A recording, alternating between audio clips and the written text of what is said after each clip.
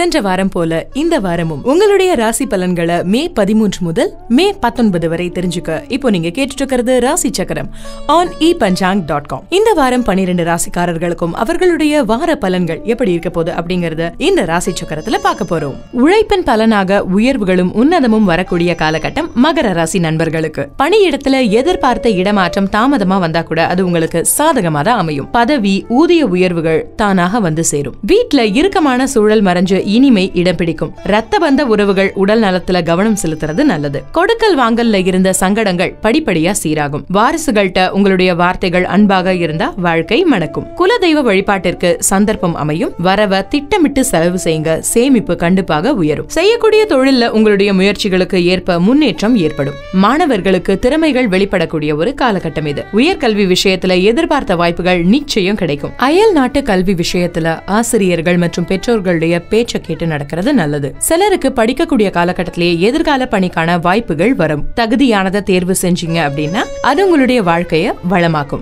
பயணத்துல லாகிரிக்கு இடம் தர்றது கூடவே கூடாது. பயண பாதை நட்புகள்கிட்ட அதிக நெருக்கம் காட்டவே வேண்டாம். பிறர் தரக்கூடிய உணவுப் பொருள் பானங்களை தவிர்த்திடுங்க. ஒற்றை தலைவலி மறைமுக உறுப்பு உபாதைகள் வயிற்றுல பூச்சி தொல்லை இதெல்லாம் ஏற்படும். உணவுல சுகாதாரம் ரொம்பவே முக்கியம். சந்திராஷ்டமம் இந்த வாரம் உங்களுக்கு கிடையாது. அதே சமயம் எந்த பணியிலையும் கவனம் பெசகாம இருக்கிறதும் உங்களுக்கு நல்லதை கொடுக்கும். இப்போ நான் சொல்ல போற துதிய தினமும் சொன்னீங்க அப்படின்னா இந்த வாரம் உங்களுக்கு உயர்வுகள் உத்தரவாதமாக கிடைக்கும். கைமான மதையான இடர் தீர்த்த கருமுகிலை. கைமான மணியை அணிகொள் மரகதத்தை. எம்மானை எம்பிரானை ஈசனை என் மனத்துள். அம்மானை அடியே நடைந்துய்ந்து போனேனே. இந்த வார பலன்களின்படி மகர ராசி நண்பர்களுக்கான இ பஞ்சாங் டாட் காமினுடைய ரேட்டிங் என்ன அப்படிங்கறத தெரிஞ்சுக்க ஆசையா இருக்குல்ல? பாத்துடலாம்